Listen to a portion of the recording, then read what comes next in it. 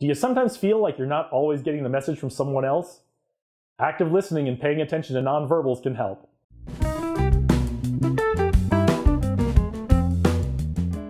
Welcome back, and congratulations on taking one more step towards becoming one of the great leaders of tomorrow.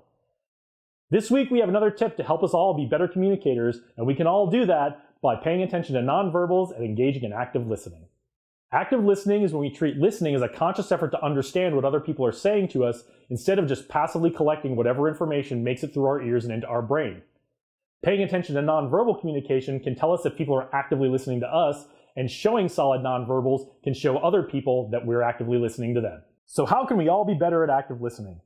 As we've talked about in other videos, letting people finish what they're saying without interrupting, correcting, or judging is the best way to really understand their message. If it's helpful, take notes or write down questions that you have so you can ask them when the person is done speaking. It's very important not to prepare your rebuttals or responses while you're listening because you may miss important information. When the speaker is done, summarizing their points before moving on is a good way to confirm that you understood the message they were trying to get across. After summarizing and getting that confirmation, now's the time to ask clarifying questions and state your position. Throughout the communication process, it's very important to be aware of body language and other nonverbal communication, both when we're listening and when we're speaking. Examples of nonverbals we want to be aware of are eye contact. Effective eye contact can show that we're engaged in listening, but we also don't want to stare the whole time. Use periodic eye contact with others whether you're speaking or listening. Smiling is a way to show that we're paying attention and support the speaker or agree with what they're saying.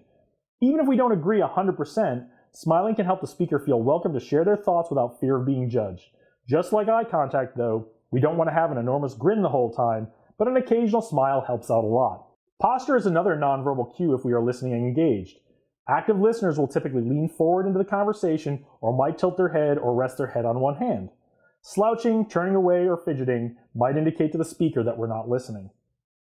Finally, if we see our listeners automatically mirroring our facial expressions, it's a good sign that they're listening and have empathy and are engaged in what we're saying. If we're the listener, we need to be very careful not to consciously mimic the speaker because this is often a sign of inattention. When it comes to active listening, the best thing we can do is be conscious of our behavior and the behavior of others, especially when it comes to nonverbal communication. So the next time you're out with a group of people, pay attention to your own nonverbal cues and see what other people are doing and try to figure out how many people are engaged or in active listening. Then the next time you're speaking, see how many people are actively listening to you. You can find out more about active listening and nonverbal communication at the link below. We got a lot of the ideas and tips for this video from that article, so check it out.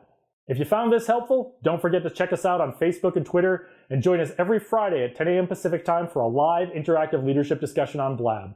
Click off on that globe to the right. That'll get you subscribed to our email list, and that'll bring all of our content direct to your inbox. Thanks for watching. I really appreciate it. And remember, the future is out there. Lead the way.